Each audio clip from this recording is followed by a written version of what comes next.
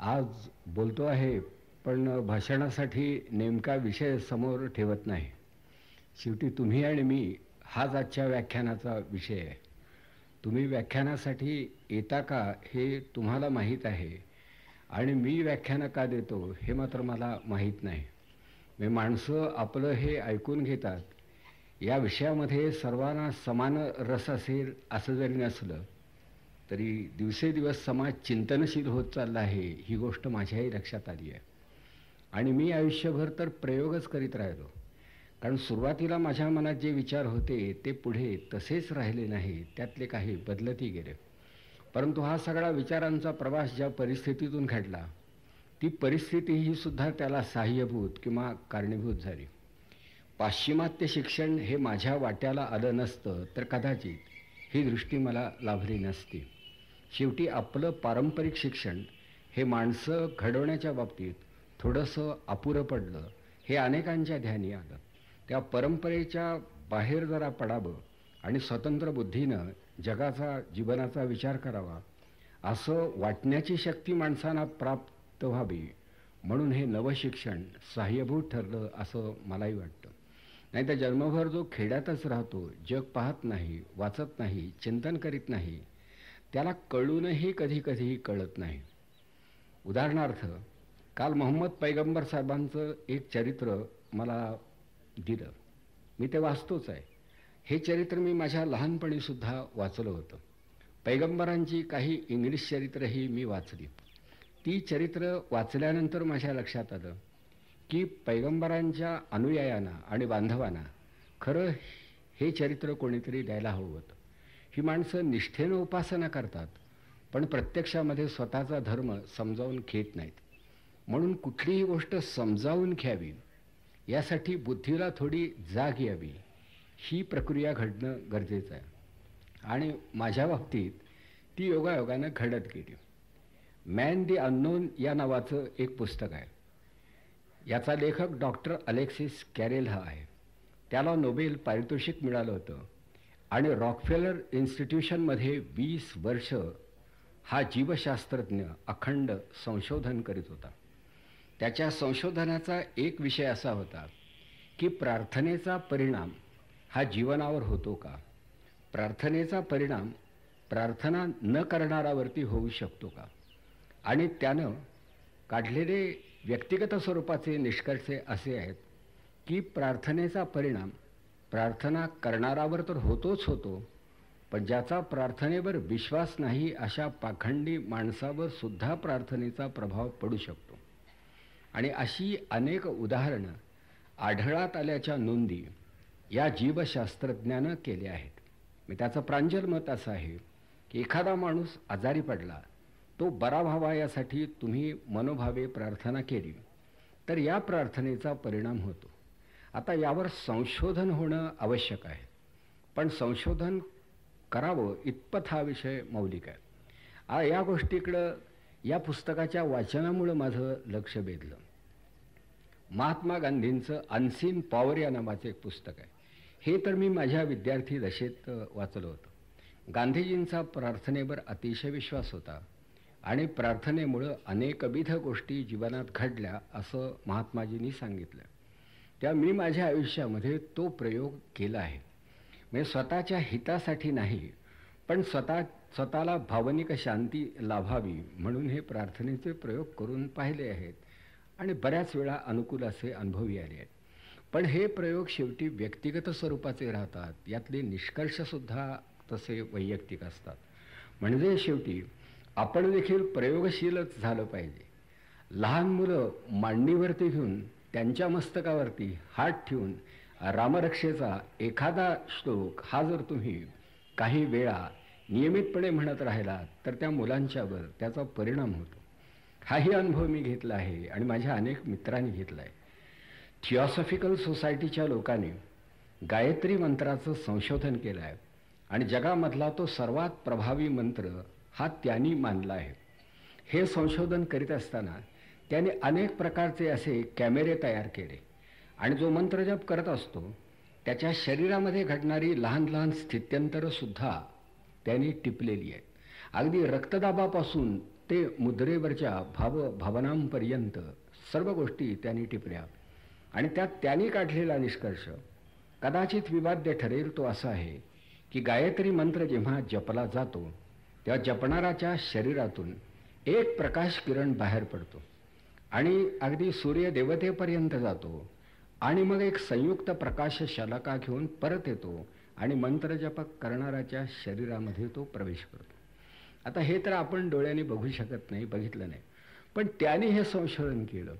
मग आता अशा संशोधनाचा वेध हा कधी कधी लागतो. कधी त्याला स्वप्नरंजनाचं रूपसुद्धा येतं. म्हणजे माणूस हा विचार करता करता झोपेसुद्धा जातो. म्हणून अनेक प्रकारचे ग्रंथ जर वाचले तर कधीकधी आपण गोंधळून सुद्धा जातो. पण पुढं पुढं आपल्या मताना नेमकेपणा येतो.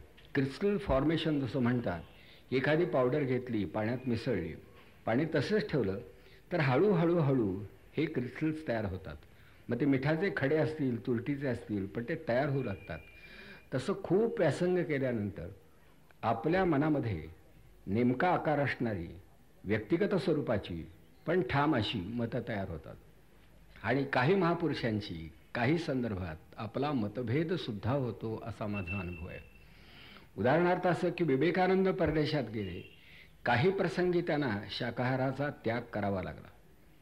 ही गोष्ट मला स्वतःला मान्य नव्हती. महात्मा गांधी परदेशात गेले पण गांधींनी शाकाहार सोडला नाही. तर आहाराच्या बाबतीत गांधीजींचा आग्रह हा मला अधिक प्रिय आहे. पण त्याचवेळी कोणी आपणाला चोपलं धोपटलं तरी त्याच्या हृदय परिवर्तनाची प्रतीक्षा करावी हे गांधींचं मत मला कधी मान्य नव्हतं. यावलट प्रसंगी दोन द्यावेत दोन घ्यावेत जो ऐकतच नाही आणि ऐकून शाणा होणार नाही जो ऐकण्याच्या पलीकडं आहे त्याला धडा द्यायला हरकत नाही.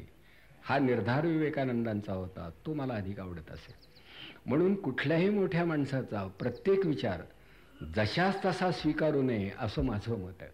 आपल्याच मनाला विचारावं की तुला यामधलं काय रुचतं आणि ते घ्यावं. आणि मग असं कळतं की मोठी माणसं अनेक झाली आपण सुद्धा आपला हे का काही सोडत नाही. ग्रामीण विभागाविषयी व्यक्तिशः मला एक प्रकारचं आकर्षण वाटतं. खेड्यापाड्यातल्या माणसांविषयी. हे शहरामधल्या माणसांना वाटेलच असं नाही. पण अगदी मी न्यूयॉर्कला गेलो लंडनला गेलो टोकियोला गेलो तरीसुद्धा अजूनही खेड्यापाड्यामधली माणसं मला जवळची वाटतात. अर्थात याला कारण असं काही नाही पण ही खेड्यातली माणसं सरळ असतात प्रेमळ असतात निर्मळ असतात. त्यांच्या जीवनात देखावा नसतो तसं पॉलिश नसतं तशी ती टापटिपीचीही नसतात पण तरीसुद्धा ती आवडतात. म्हणजे शेवटी ही भावनिक आकर्षणं कोणीही पुसून टाकणार नाही. म्हणजे आपलं व्यक्तिमत्व घडत असताना आपला अभ्यास आपणच करायचा असतो असं मला वाटतं.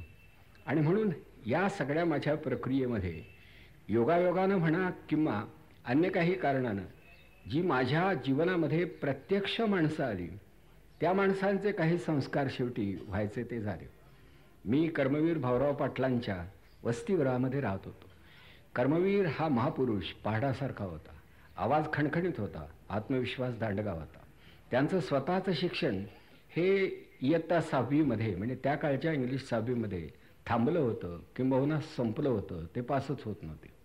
अभ्यासाकडे त्यांचं लक्ष नव्हतं. कुस्तीच्या आखाड्यात ते जात होते व्यायाम भरपूर करत होते. वर्गशिक्षकांचं शिकवणं त्यांना कळत नव्हतं त्यांचं मन वर्गात रमत नव्हतं ते पास होत नव्हते. शाहू महाराजांनी त्यांच्या वक वर्गशिक्षकांना ही कोल्हापुरात घडलेली घटना आहे बोलावून घेतलं. आणि हा मुलगा फार चांगला आहे जरा तुम्ही याच्याकडे लक्ष द्या. आणि याला उत्तीर्ण करा असं त्या गुरुजींना सांगितलं. त्या ते भार्गवराम या नावाचे गुरुजी होते ते अत्यंत आग्रही होते हट्टी होते. ते एवढंच म्हणाले की हा मुलगा ज्या बाकावर बसतो तो बाक वरच्या वर्गात घालणं शक्य आहे पण याला वरती चढवता येणं शक्य नाही. अर्थात हे सांगितल्यामुळं कर्मवीरांचं शिक्षण हे तिथं थांबलं. परंतु कर्मवीर जाता जाता शाहू महाराजांच्या सहवासामध्ये काही वर्ष काढल्यामुळं काही संस्कार घेऊन बाहेर पडले. आणि सातारचं शाहू बोर्डिंग जे त्यांनी काढलं ते शाहू महाराजांकडून स्फूर्ती घेऊन. शाहू महाराजांनी कोल्हापुरामध्ये प्रत्येक जातीसाठी वेगळं वस्तुगृह बांधलं. वस्तुत जातीयतेचं निर्मूलन घडलं पाहिजे असा शाहू महाराजांनी आग्रह धरला होता. पण वसतिगृह बांधताना मात्र मराठ्यांचं वेगळं जैनांचं वेगळं सिकेपींचं वेगळं मुस्लिमांचं वेगळं वीरशैवांचं वेगळं अशी वसतिगृह त्यांनी बांधली होती. आता इथे महाराज समजावून घेण्याची वेळ आली पण महाराजांना समजावून देण्याचं काम कर्मवीराने केलं. कर्मवीर शाहू महाराजांच्या पाच पावलं पुढे गेले आणि त्यांनी सर्व जाती जमातीसाठी एकच वसतिगृह काढलं. त्याच्यापुढे शाखा निघाल्या. म्हणजे त्यांनी वीरशैवांसाठी आणि मुस्लिमांसाठी वेगळी वसतिगृह काढली नाहीत तर सर्व जाती जमातीसाठी एक वसतिगृह काढलं. तेव्हा मी एके दिवशी कर्मवीरांकडे गेलो आणि म्हणालो की महाराज इतके मोठ्या मनाचे जात ही कल्पना त्यांना मान्य नव्हती पण त्यांनी अशी जातवार वसतिगृह का काढली? त्यावर ते म्हणाले की मुलं शिक्षणासाठी घराबाहेर पडत नव्हती. त्यांना बाहेर कुठे आश्रय मिळत नव्हता.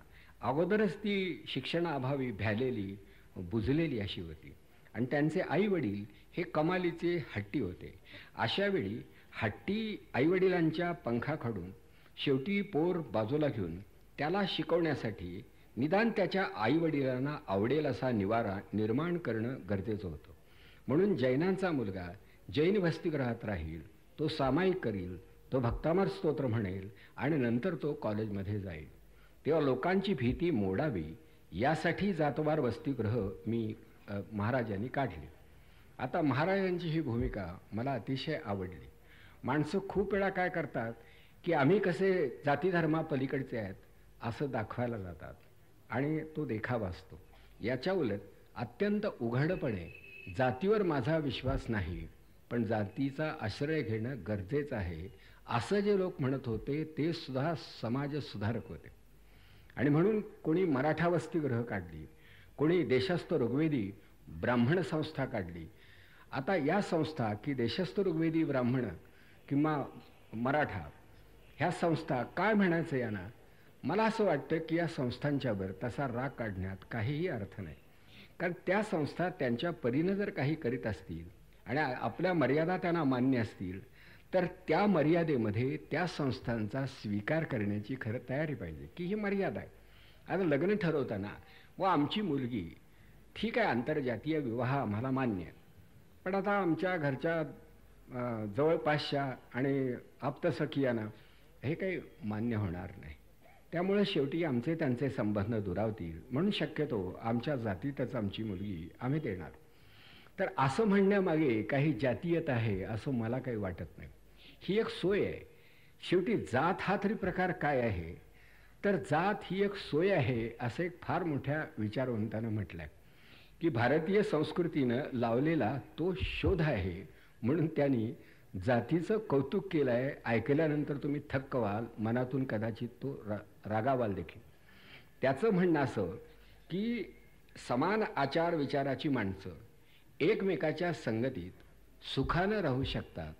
अशा माणसांचे अत्यंत स्वाभाविक आणि नैसर्गिक असे जे गट तयार झाले त्या जाती होत्या. पुढं आम्ही त्या चिरेबंद केल्या तिथे आम्ही चुकलो.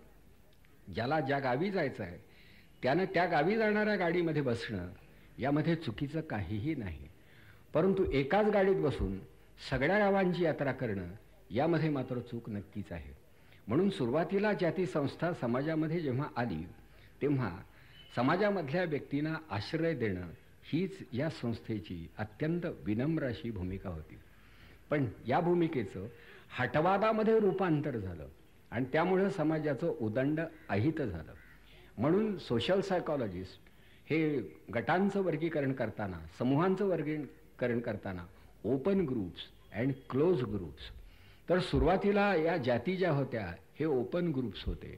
पुढं ते चिरेबंद झाले क्लोज ग्रुप्स झाले. आता आपल्या वेगवेगळे राजकीय पक्ष हे सुद्धा ग्रुप्स आहेत. यासुद्धा एक वेगळ्या प्रकारच्या राजकीय जातीच आहेत. पण या जातीतून तुम्हाला एक जात सोडून दुसऱ्या जातीचा अंगीकार करता येतो. सकाळी एक पक्ष दुपारी एक पक्ष आणि मध्यरात्री वेगळा पक्ष आणि पुन्हा दुसऱ्या पहाटेला स्वतंत्र पक्ष. इतका आपण करू शकतो. हा जो मोकळेपणा राजकारणात आहे तो खरोखर चांगला आहे. म्हणजे माणूस असा कायमचा बांधून ठेवला जात नाही. निष्ठाविष्ठा असाव्यात चांगली गोष्ट आहे. पण कशाची निष्ठा आणि कोणाविषयी निष्ठा हा मोठा प्रश्नच आहे. हा पक्षनिष्ठा हा सुद्धा एक विचाराचा भाग आहे. त्या ज्या पक्षामध्ये गेल्यानंतर बरं वाटतं त्या पक्षामध्ये बरं वाटतं तोपर्यंत राहावं. आता जर आपणाला त्याचा कंटाळा आला तर सोडायला काय हरकत आहे? जर त्या पक्षाला तत्त्वज्ञान असेल आणि त्या तत्त्वज्ञानाचा स्वीकार आपण केला असेल तर त्या तत्त्वज्ञानाची प्रतारणा करणं हा अधर्म ठरेल. म्हणून तत्त्वज्ञानाची प्रतारणा करू नये. पण पक्षाने स्वतःच ते तत्त्वज्ञान सोडलं तर त्या तत्त्वज्ञानाच्या उपासकाने तो पक्ष सोडायला काय हरकत आहे? हा एक तात्विक प्रश्न होऊ शकतो. आता मी कुठल्याच पक्षात नसल्यामुळे मोकळेपणावर बोलू शकतो. नाही तर मलाही हे बोलता आलं नसतं. तेव्हा आता काँग्रेस हे जर तत्त्वज्ञान आहे का? याचा विचार करायला हवा खरं. ते तत्त्वज्ञान असेल तर ते तत्त्वज्ञान ज्यांना प्रिय आहे त्यांनी काँग्रेसमध्येच राहणं आवश्यक आहे. पण महात्मा गांधींनी तर स्वच्छ सांगितलं होतं की स्वातंत्र्य प्राप्तीनंतर काँग्रेसचं विसर्जन करा. कारण सत्तेसाठी ज्या चढावडी सुरू होतील त्यामध्ये काँग्रेस संपून जाईल. त्या काँग्रेस आढळ राहावी आणि समाजसेवेची एक प्रभावी यंत्रणा म्हणून तिनं काम करावं. यासाठी काँग्रेस हा पक्ष पक्ष म्हणून नसावा असं महात्माजी म्हणाले होते. आ आपणच आपल्या मनाला कौल लावायचा की यातलं आपणाला पटतं का? व्यक्तिशः मला पटतं. पण माझं कोण ऐकणार? हा मोठा प्रश्न आहे. माझा एकट्याचाच पक्ष आहे. मी घरातली माणसंसुद्धा माझ्याबरोबर येतील याची मला खात्री नाही. म्हणून घरातली माणसंसुद्धा आपल्याच मताची असली पाहिजेत हा आग्रह आपण कधीही धरू नये या मताचा मी झालो आहे कारण ज्याला त्याला त्याचं त्याचं काहीतरी मत आहे.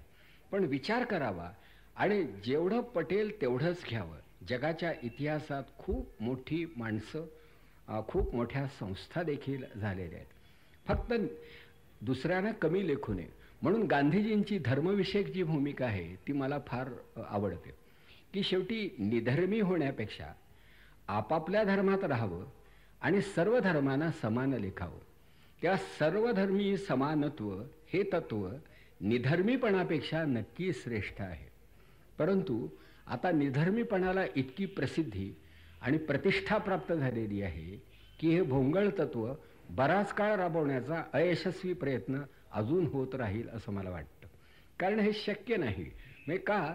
तर ते ठीक आहे की माणसांची नियुक्ती करताना नेमणूक करताना निवड करताना त्यांचा धर्म विचारात घेतला जाणार नाही. त्यांचं व्यवसायास अनुरूप असणारं नैपुण्य विचारात घे घे घेतलं जाईल. हे ठीक आहे. तुम्ही क्वालिफिकेशन्स बघा. त्या त्या असा विचार करायला हरकत नाही. पण जगामध्ये समजा अनेक धर्म असले तर असं काय नुकसान होणार आहे जगाचं? फक्त धर्माधर्मामध्ये परस्पर द्रोह नसावा. विवेकानंद असं म्हणत ते हिंदू धर्माचे अभिमानी होते. पण तरी ते म्हणत जगामध्ये जेवढ्या व्यक्ती आहेत तितके धर्म अस्तित्वात येऊ शकतात आणि आले तरी बिघडत नाही. कारण शेवटी मूलभूत धर्म एकच आहे पण त्या धर्माचे आविष्कार अनेक आहेत.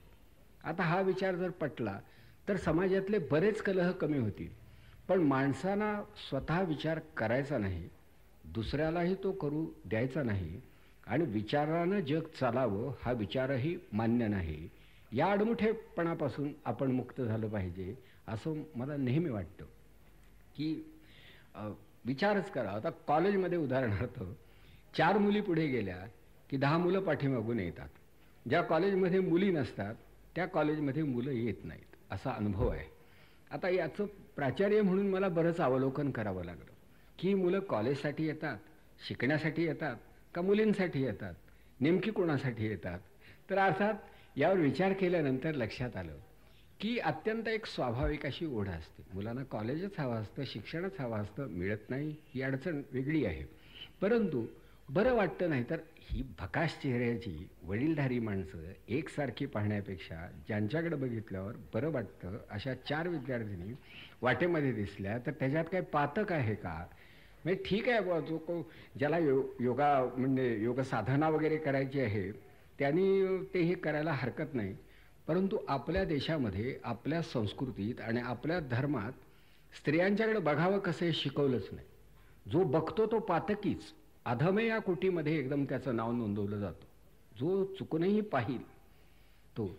हा इतका चुकीचा विचार आहे की आपापलं मन तपासून घ्यावं आणि विचारावं की आपल्याला बघितल्यामुळं काय अधपतन घडतं का? काय आपण लगोलग काय कोणाच्या घरी जातो का?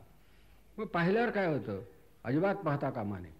मी माझ्या लहानपणी ब्रह्मचर्य हे जीवन या नावाचं स्वामी शिवानंदांचं पुस्तक विकत घेऊन वाचलं आणि त्याची पारायण केली आणि त्यानंतर माझी झोप उडाली. का तर त्याच्यामध्ये ब्रह्मचर्यापासून ढळलेल्या व्यक्तीची एकशे तेहतीस लक्षणं सांगितली होती. आणि मी तर वयाने इतका लहान होतो पण त्यातली जवळजवळ एकशे बत्तीस मला लागू पडली. का? आता त्यामुळं मला वाईट वाटायला लागलं की काय आपण अधपतीत आहोत? म्हणजे आपलं होणार काय? आणि स्वामींचा गौगोवा फार झाला होता सगळीकडे. ब्रह्मचर्य हे जीवन. काय वाटेल ते करायचं झालं. ब्रह्मचर्य हा एकच मार्ग. ब्रह्मचर्य एकदा राहिला माणूस सर्व काही होतं. आणि माझ्या धैर्य नव्हतं स्वतंत्र विचार नव्हता. मी ते वाचलं आणि मी इतका चिंताग्रस्त झालो. आणि कोणाशी बोलायची सोय नव्हती. समाजात त्या वयात बोलताच येत नाही. एक वाढीच्या वयामध्ये मुलामुलींना विश्वासात घेऊन त्यांच्याशी बोलणारे पालक तरी जगात किंवा भारतात आहेत का हो याचा थोडा विचार करा. कधी कुठला पालक बुवा आपल्या सोळा सतरा वर्षाच्या मुलीला आणि वीस वर्षाच्या मुलाला घेऊन फिरायला गेल्याचं तुम्हाला कधी दिसतं का? चला आपण जरा बाहेर जाऊ. बसू तर आपण खरं एकमेकाशी बोलायला वेळ मिळत नाही. तर मी तुमच्या वयाचा होतो तेव्हा मलाही अशी हुरहुर लागायची मलाही काही स्वप्न पडायची. सकाळी माझेही डोळे पाणावलेले असायचे. पण नंतर माझ्या लक्षात आलं कारण माझी आजी मला भेटली आणि ती म्हणाली की का रे आज तुझे डोळे ओले? मलाही सांगता यायचं नाही. पण आजीनं ते जाणलं आणि तिनं मला सांगितलं की तू श्रीराम जय राम जय जय राम असं जरा झोपण्यापूर्वी शंभर वेळा म्हण तर खरं. कदाचित त्या तालावरती त्या हिंदोळ्यावरती तुझं मन गाढ झोपी जाईल आणि तुझी स्वप्न कमी होत जातील आणि माझ्या बाबतीत तसं झालं देखील. आता आपल्या मुलांना जर आपण हे खरं सांगितलं तर मुलं प्रयोग करतीलही पण माझ्या मनात असे विचार येत होते. हे कबूल करावं लागेल. ही मोठी अडचण आहे. आणि इतकं खरं बोलण्याची सवय आपल्या पालकांना नाही. ते असं भासवतात की आमच्या मनाला कुठल्याही मलिन विकाराचा स्वप्नात देखील स्पर्श झाला नाही असे आम्ही साधुत्वाचे खोटे पुतळे होतो. कळलं का? आणि साहजिकच मग मुलाला वाटतं की आपले बाबा आपली आई इतके सगळे चांगले आणि आपल्याच मनामध्ये हा विचार येतो आपल्या स्वप्नात वारंवार काही विशिष्ट व्यक्ती येतात म्हणजे संपलं. आपला शेवट होणार. तर मनुष्य स्वभाव हा असा आहे. जसं फर्निचरवर धूळ बसली प्रत्येक घरात बसतं ते पुसावं लागतं घर लोटावं लागतं घरातही कचरा येतो. घरात कचरा येतो म्हणून घराची किंमत एकदम कमी होते का? कचरा काढायचा असतो घर लोटायचं असतं. तसं मनाची मलिनता दूर करायची असते हे शास्त्रीय पद्धतीनं आपल्या मुलामुलींना खरं शिकवण्याचे प्रयोग आम्ही का केले नाहीत हा खरा माझा प्रश्न. तर याचं कारण असं आम्ही व्याख्या ते व्याख्यानं देणार. हा महापुरुष मोठा होता तोही महापुरुष मोठा होता. मोठे झाले ते मोठेच होते. त्यांनी हे सगळे विकार जिंकले होते. त्यामुळे ते मुक्त होते. मग बाकीच्यांचा धीर खचतो की हे आपल्या मनात तर हे असं येते. काही खरं नाही बुवा. आपण मोठे होणार नाही. मग काय काय करायचं? नाही मोठे होणार. म्हणजे हे नैराश्य तर जगातल्या मोठ्यात मोठा माणूससुद्धा विशिष्ट वयामध्ये विशिष्ट भावनांच्या आवर्तामध्ये सापडत होता. कोणीही अपवाद त्याला नव्हता. कोणी बोलले असतील कोणी बोलले नसतील इतकंच. त्या आपण मनाला कौल लावावा. आता फक्त प्रश्न काय? की विचार करावा.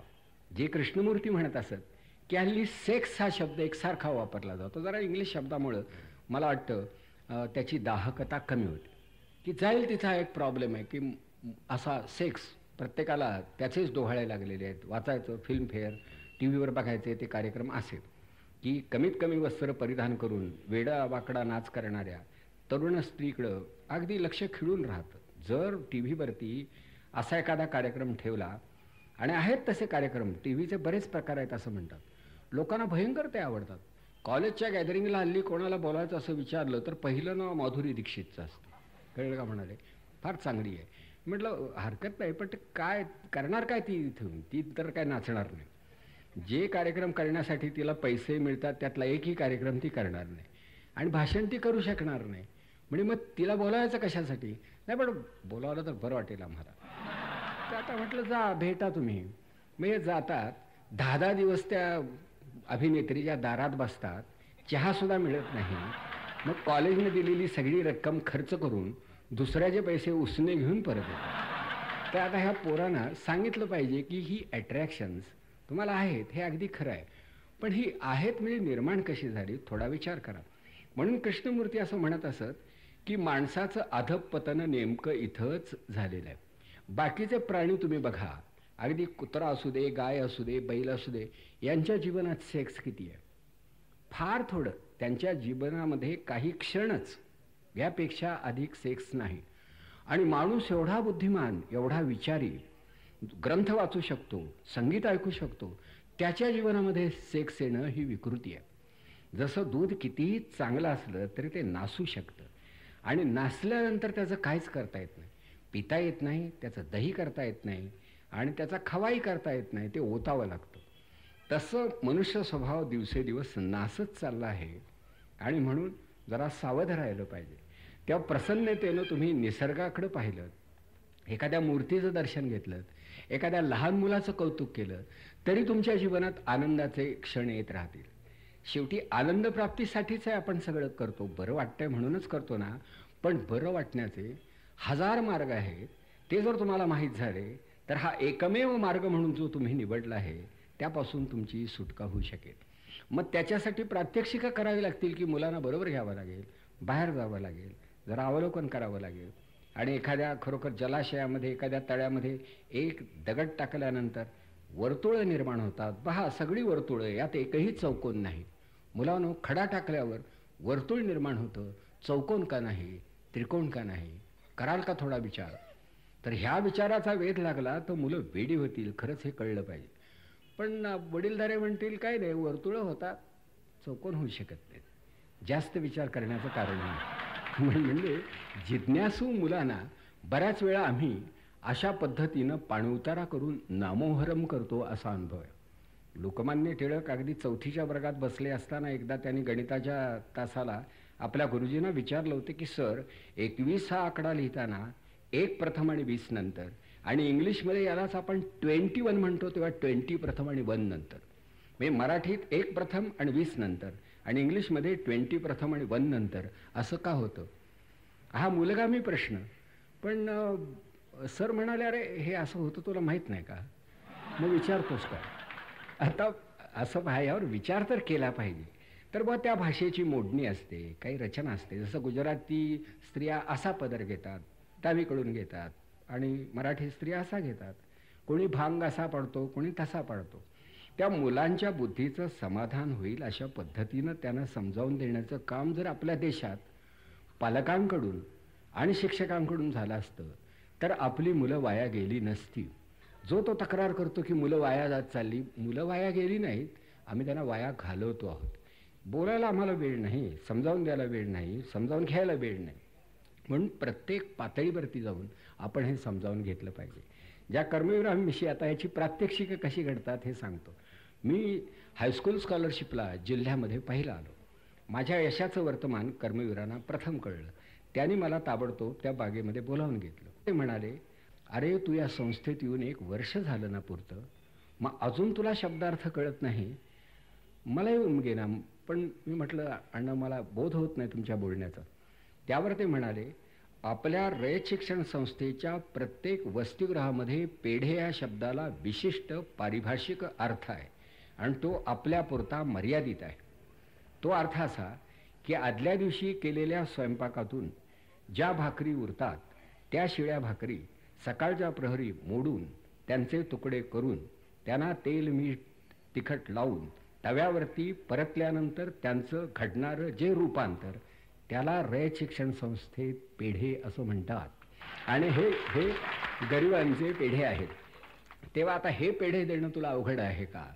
उद्याही देऊ शकशील. आज जरा जास्त भाकरी केल्या तर उद्या त्या शिड्या राहतील. म्हणजे गरिबांची अस्मिता ही फुलवण्याची शक्ती ज्यांच्या अंगी असते ती माणसं कुठल्या पद्धतीनं त्यांच्यावर संस्कार करतात हे बघण्यासारखं आहे. ना जर एखादा मध्यमवर्गीय म्हणाला असता पेढे फार महाग आहेत तितकी खाती तोंड आहेत एवढे पेढे लागतील. पराधोर पेढे दुसऱ्या दिवशी आम्ही वाटले.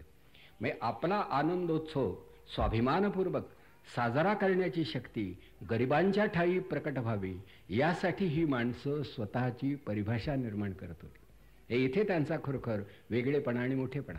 गांधीजींनी आपल्या आयुष्यामध्ये पुढं पुढं कपडे कमी केले की बरेच लोक असे विवस्त्र आहेत अर्थनग्न आहेत.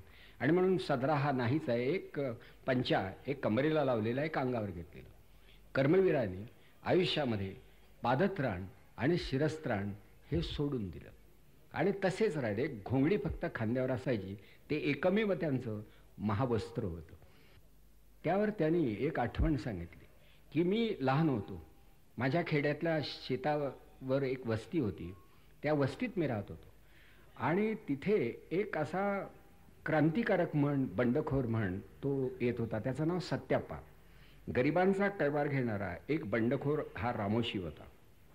आणि त्यानं अनेक श्रीमंतांचं पारिपत्य केलं होतं अनेक गरिबांना न्याय मिळवून दिला होता आणि अनेकांना सहाय्य केलं होतं. पण दुर्दैवानं पुढं तो पकडला गेला आणि त्याला जन्मठेपीची सजा देण्यात आली. तेव्हा मी त्याचा खटला चालला असताना कोर्टामध्ये जाऊन उभा राहत होतो. कारण त्यानं मला लहानपणी अंगा खांद्यावर खेळलं होतं. मी कसा गुटगुटीत आहे खूप वर्णन करायचा आणि त्याला मी आवडत होतो. त्याचा स्पर्श मला खूप वेळा झाला होता. त्यावेळी मी जेव्हा कोर्टात गेलो आणि तो पोलिसांच्या पहाऱ्यामध्ये असा बाहेर पडला त्या त्याला भेटायला त्याचे सगळे सोयरे त्याच्या भोवती जमा झाले. आम्ही पण गेलो होतो. त्यानं माझ्याकडे पाहिलं मला ओळखलं आणि तो म्हणाला भाऊराया आलास बरं वाटलं आता आपली भेट होणार नाही. आणि त्याचं लक्ष माझ्या पायाकडे गेलं. माझ्या पायामध्ये कोऱ्या करकरीत कोल्हापुरी चपला होत्या. तेव्हा तो म्हणाला की भाऊ आता तुझी आठवण म्हणून काय नेऊ? तुझ्या त्या नव्या चपला मला तर आता मिळणारच नाही. देतोस का मला? तू दे. त्या कर्मवीरांनी आपली चप्पल जगाच्या दृष्टीनं गुन्हेगार ठरलेल्या एका पुण्यवंताला देऊन टाकली. आणि त्यानंतर त्याची आठवण म्हणून त्यांनी पादत्राण सोडून दिलं. जन्मभर ते तसे राहिले.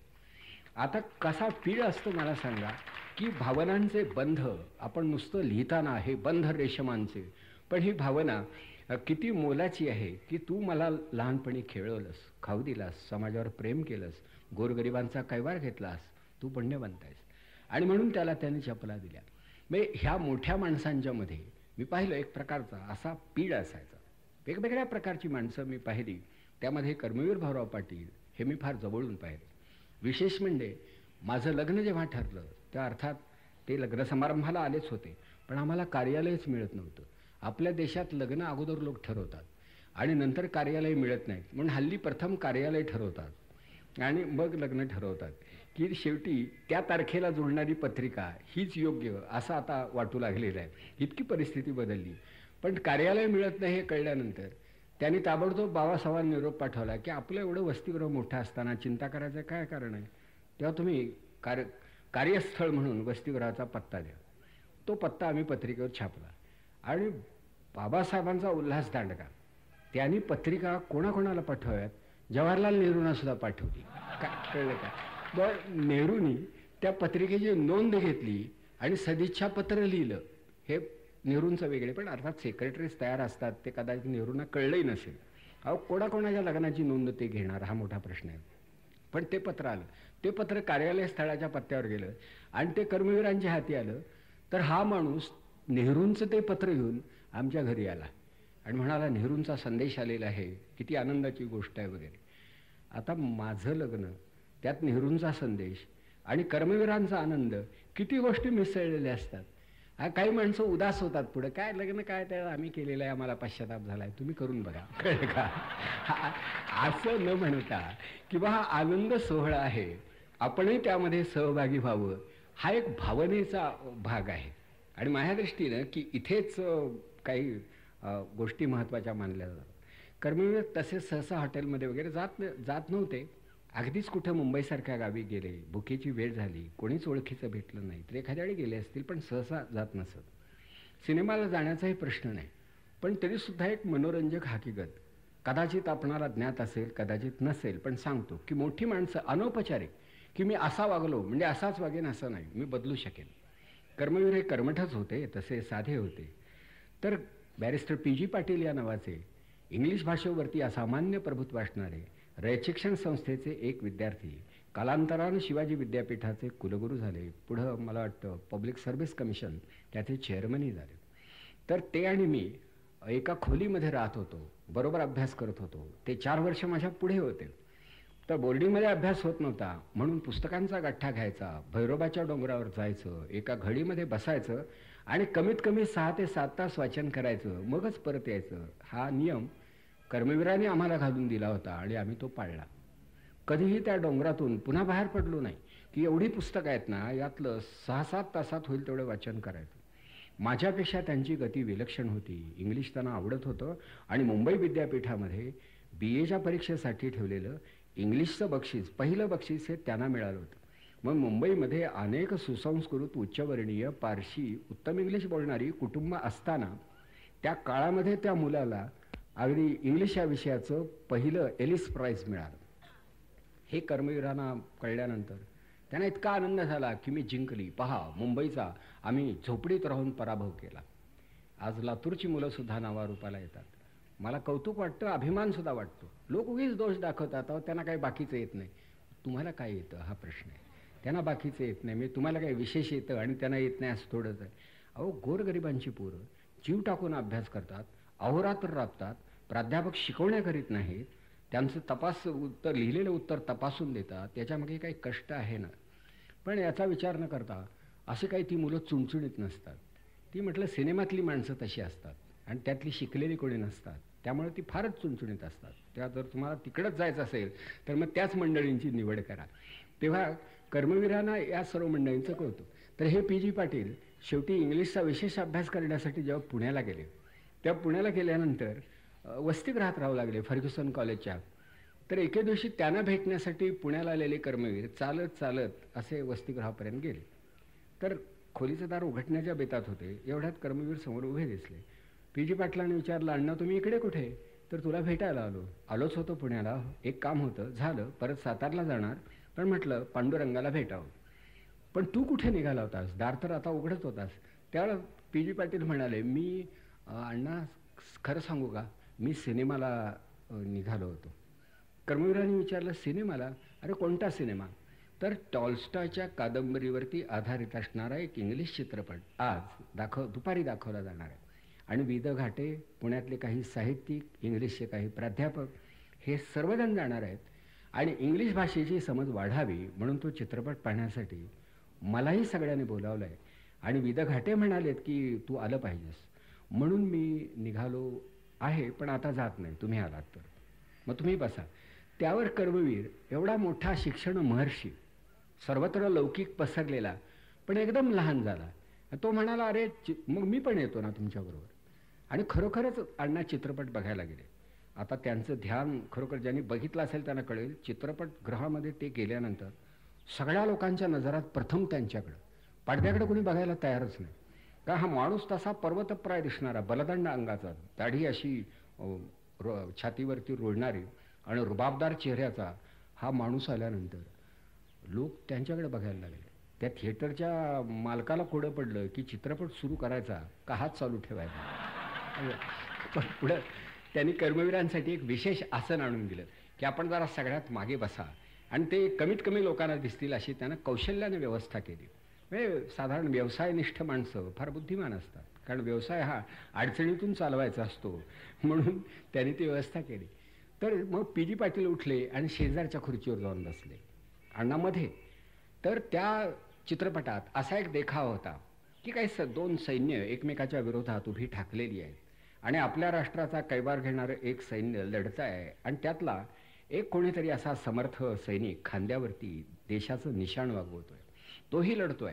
पण त्याच्या उरामध्ये एक बंदुकीची गोळी घुसलेली आहे.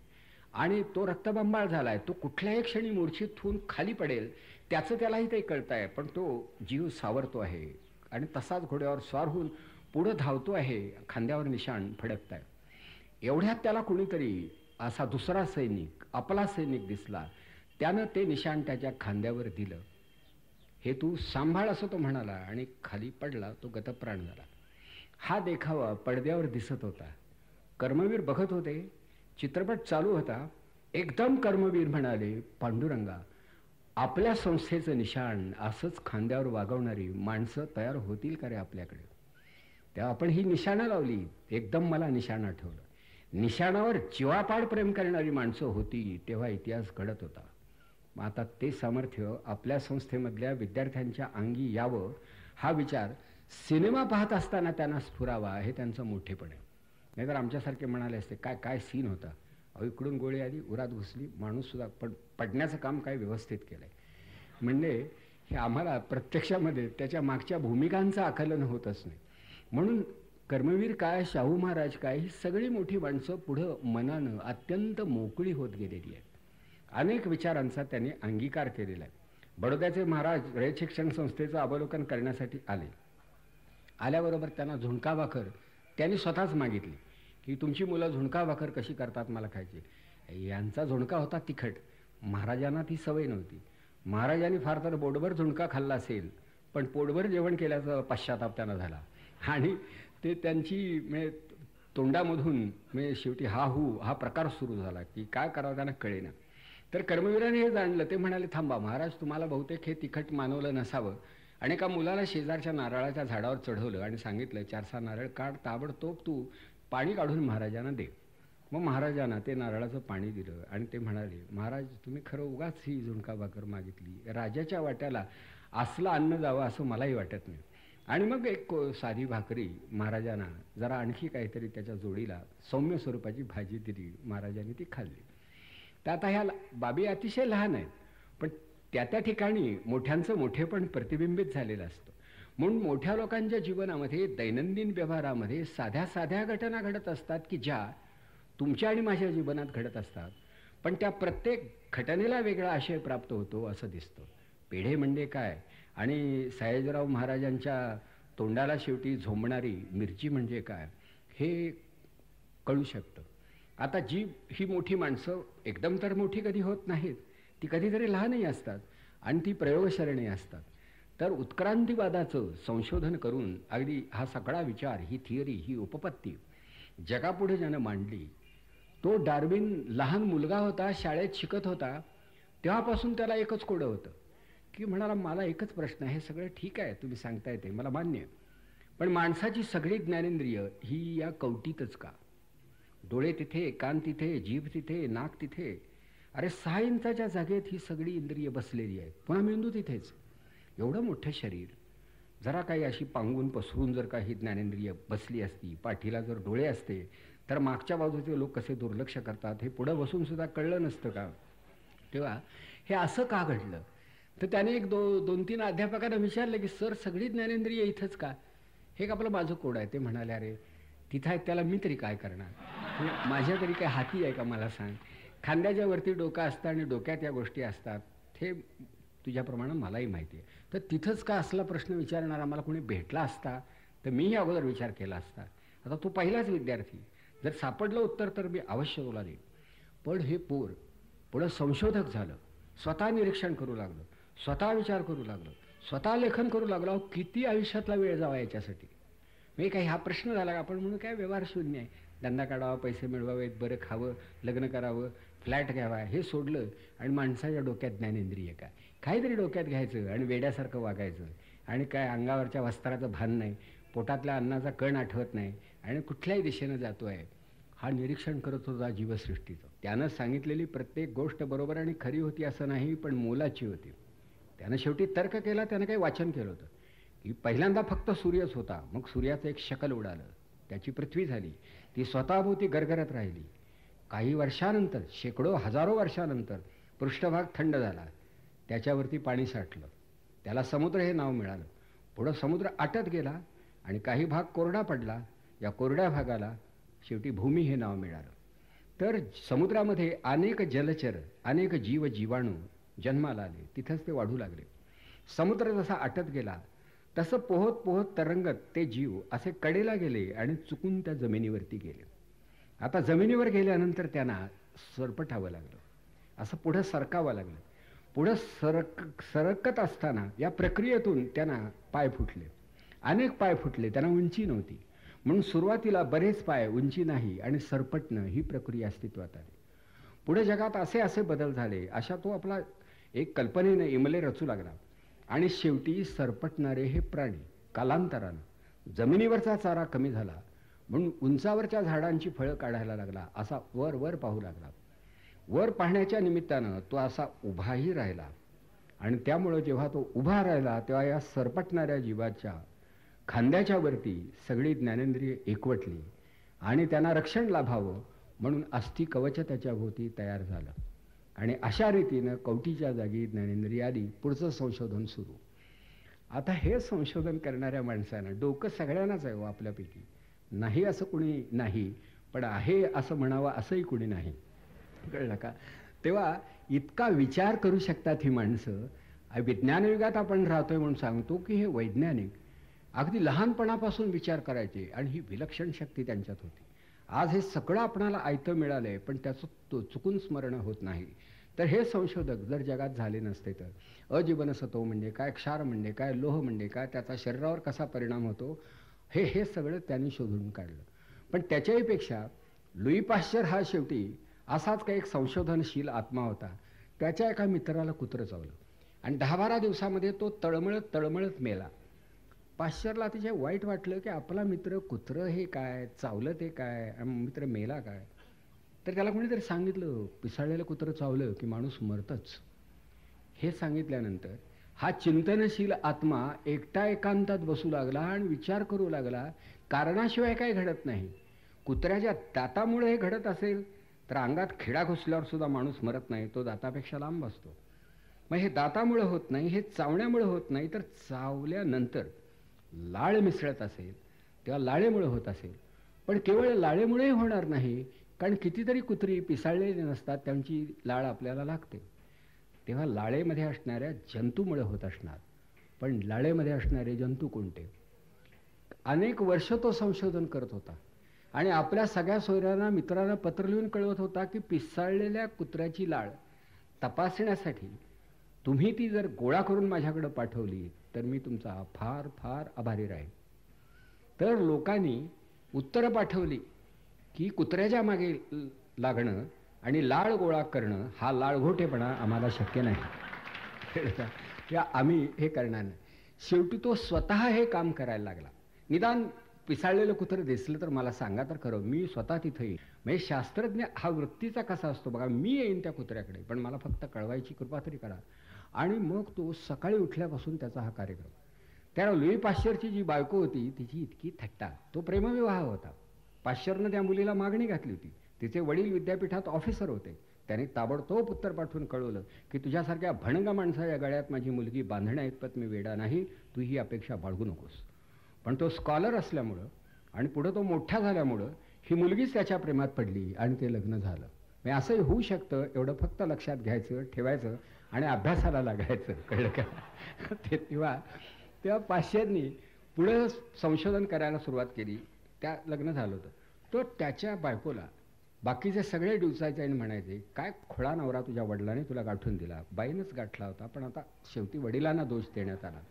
आणि सकाळी उठतो आणि कुत्र्यांच्या मागे लागतो. काय गावात एवढी प्रतिष्ठित माणसं असताना एकदम सरळ आपला कुत्र्यांच्या मागे लागतो. काय काय गरज काय त्याची वगैरे? तर हा होता संशोधक. याला हवी होती लाड. तीही कुत्र्याची आणि पिसाळलेल्या. त्या संशोधकाला आपली वाट बहुमताकडं दुर्लक्ष करून निवडावी लागते. लोकांना काय वाटतं आणि लोक काय म्हणतात याला विज्ञानाच्या दरबारामध्ये शून्य किंमत आहे. मला संशोधन करायचं आहे हा माझा विषय आहे. मला लोकप्रियतासुद्धा नको आहे मला ज्ञान हवं आहे. ही वृत्ती त्याच्यात होती. त्यानं संशोधन पुरं केलं. आणि शेवटी श्वानदंश प्रतिबंधक लस ही त्यानं शोधून काढली. ही लस रशियामध्ये नव्हती. जगात कुठल्याही राष्ट्राकडेही नव्हती. ह्या फ्रान्समध्येच फक्त पाश्चरकडे होती.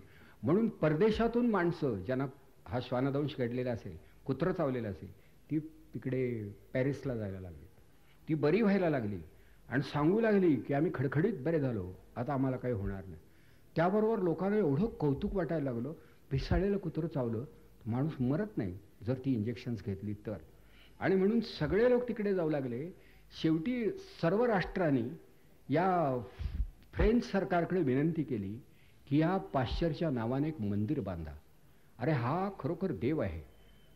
या मनुष्यकुळाला त्यानं उपकृत केला आहे आम्ही आमच्या परीनं सहाय्य करतो. म्हणून अक्षरशः पैशाच्या गोण्या फ्रान्स दिशा म्हणजे फ्रान्सच्या दिशेनं पोहोचवण्यात आल्या. आणि पाश्चरच्या नावाने काही संशोधन मंदिरं बांधण्यात आली. त्या एका शेवटी पाश्चर इन्स्टिट्यूट तिचं उद्घाटन होणार होतं.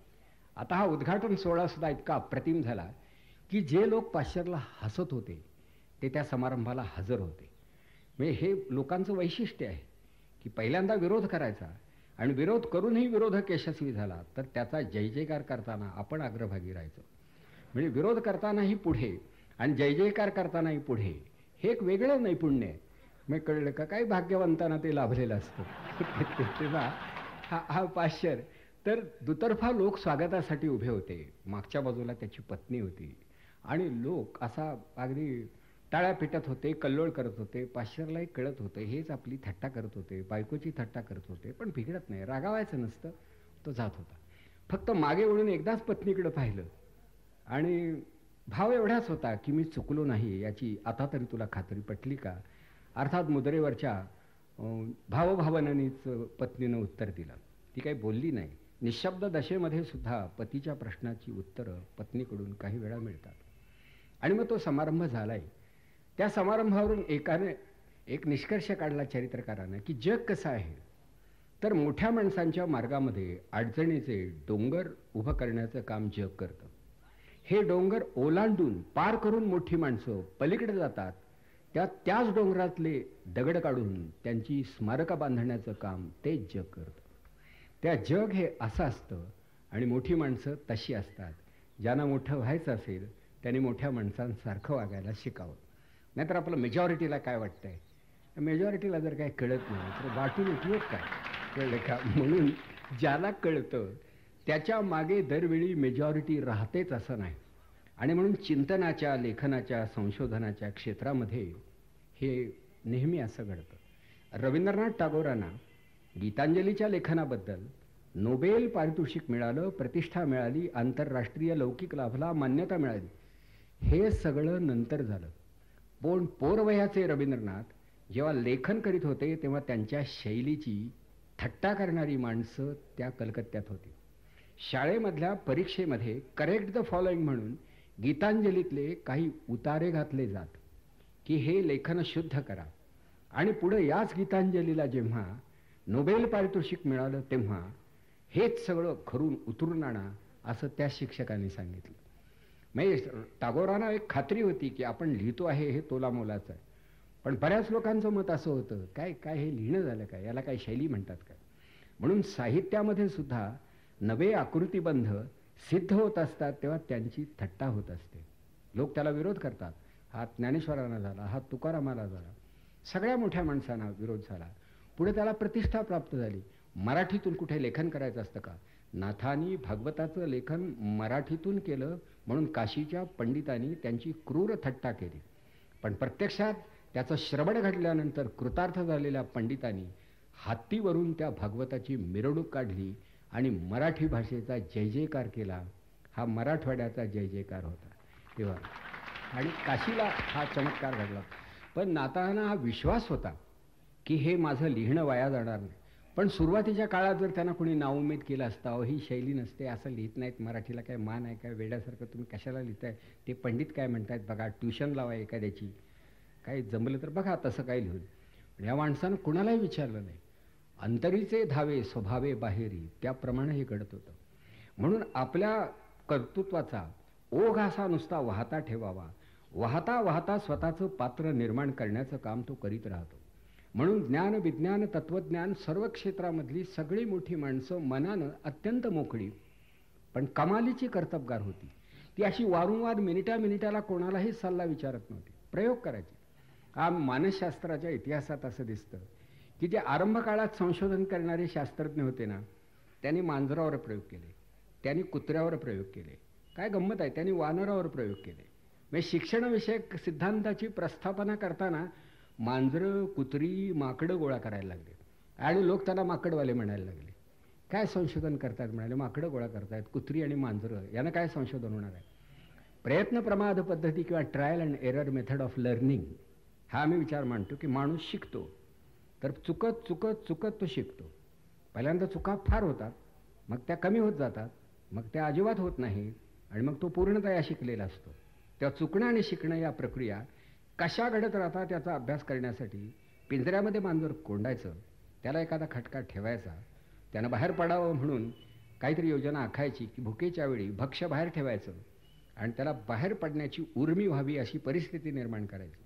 तर असं मांजर धावाधाव धावाधाव करतं आणि चुकून खटका दाबला जातो ते बाहेर पडतं. असं पंचवीस तीस वेळा केल्यानंतर सुरुवातीला त्याला फार धडपडावं लागतं नंतर बरोबर ते कळ दाबून बाहेर पडतं. म्हणजे मांजर शिकू शकतं माकड शिकू शकतं माणूस शिकू शकत नाही. तर माणूसही शिकतो. तो माणूस कसा शिकतो? तर सायकलिंग शिकताना तुम्हाला आठवत असेल की आपण पहिल्यांदा हॉपिंग खेड्यापाड्यामध्ये सायकल भाड्याने घेतात. आणि शिकण्याचा प्रयत्न आमच्या काळी घेत होते. आता त्यांना स्कूटर्स झाल्या त्यांच्या मोटरसायकल झाल्या. सायकल घ्यायची आणि ताठ पुतळ्यासारखं बसायचं. ती वळवावी लागते हे काय माहीतच नसायचं. मागून कुणीतरी धरायची आणि पाटलारी जोरात सायकल मारायची. आणि वळणावर आली की त्यांनी पडायचं. कारण ते वळवायचं त्यांना माहीतच नाही.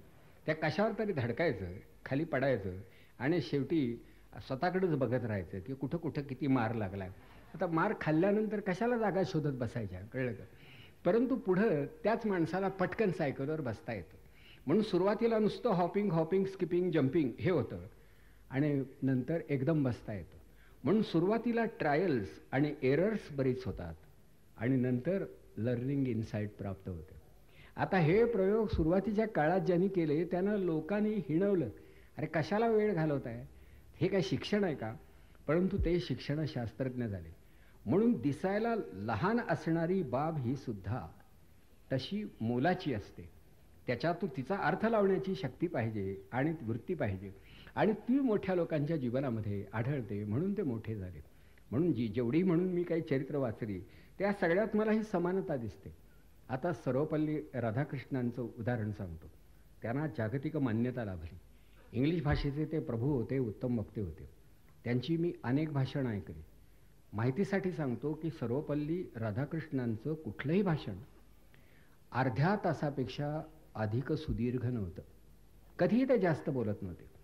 अगदी अत्यंत रेखीव भाषण असायचं अर्ध्या तासात संपायचं. आपल्याला ते परवडायचं नाही. जर एखादा वक्ता अर्ध्या तासात गेला तर लोकांनाच बरं वाटणार नाही. कारण मुद्द्याच्या गोष्टी थोडक्यात सांगून होतात. पण लोकांना कसं ऐस पैस अगड पगड जरा इकडे जरा तिकडे जरा मागे जरा पुढे. असं करीत दोन तास खाल्ले. मनसोक्त बोलले मनापासून बोलले.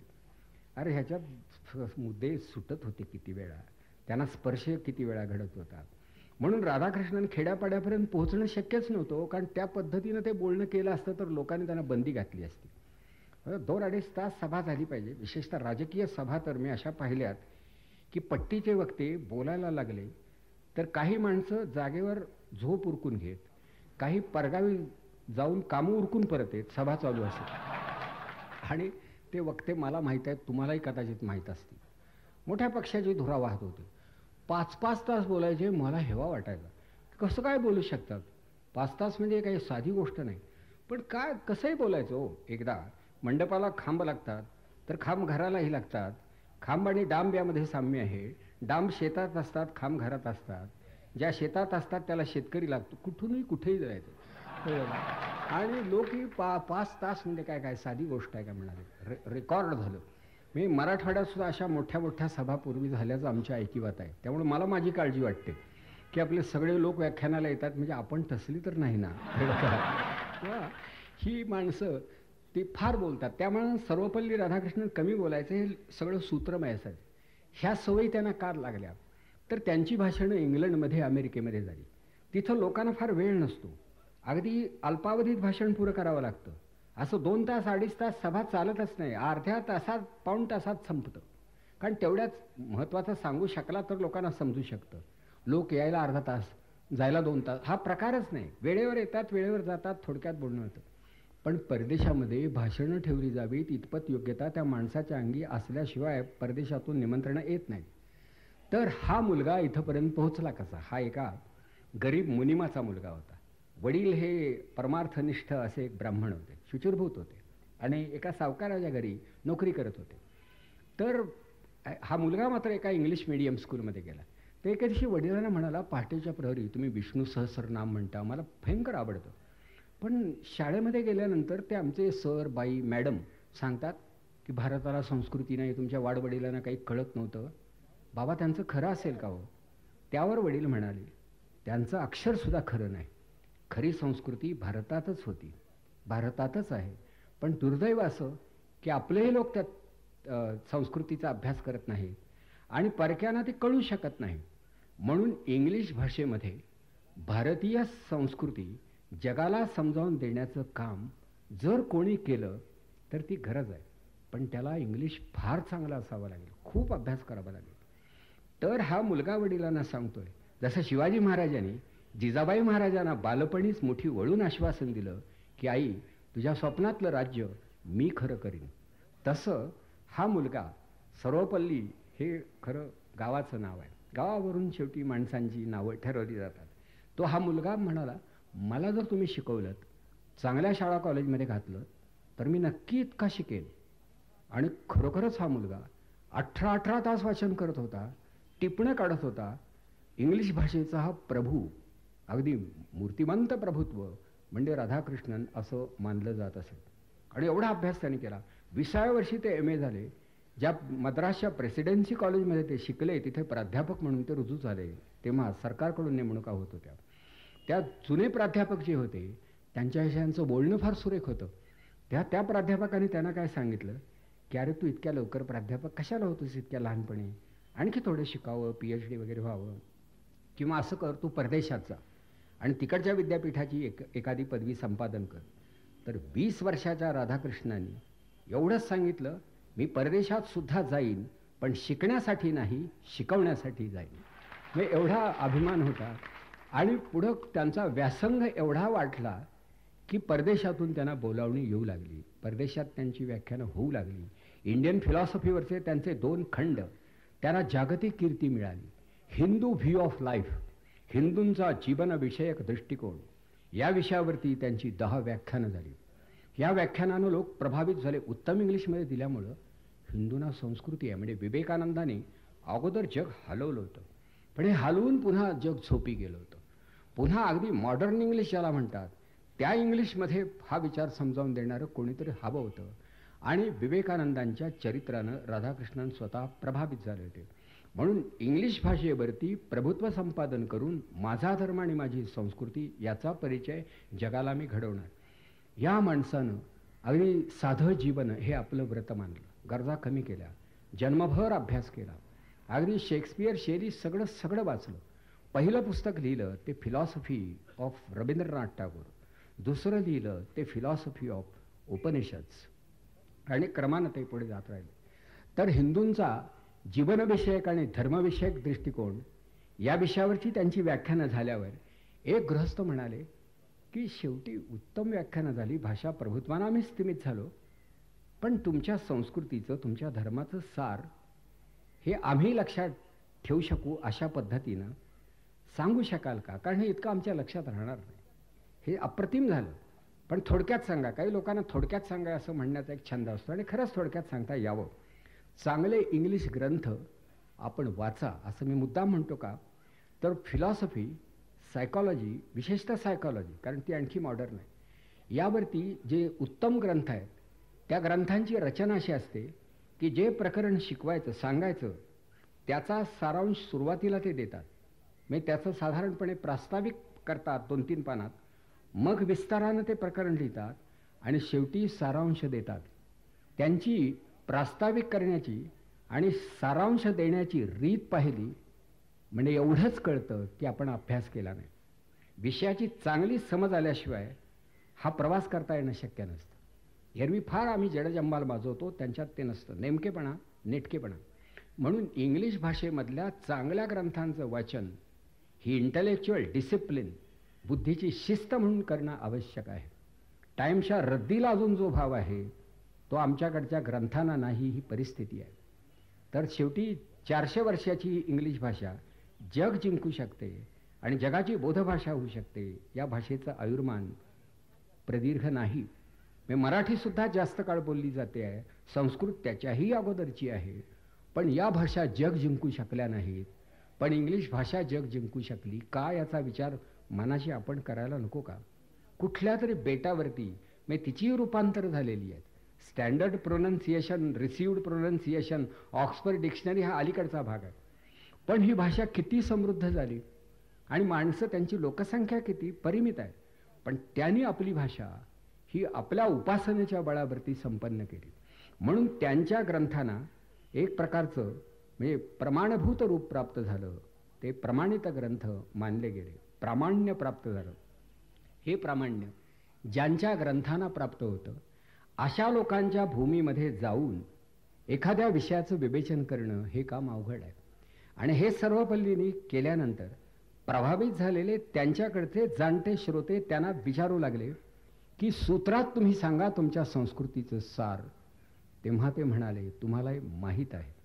कदाचित तुमच्याकडचं हे सुभाषिती असेल पण मी पुन्हा सांगतो ते सार असं greatness of soul is the soul of all greatness आत्म्याचं मोठेपण हाच मोठेपणाचा आत्मा असं भारतीय संस्कृती मानते.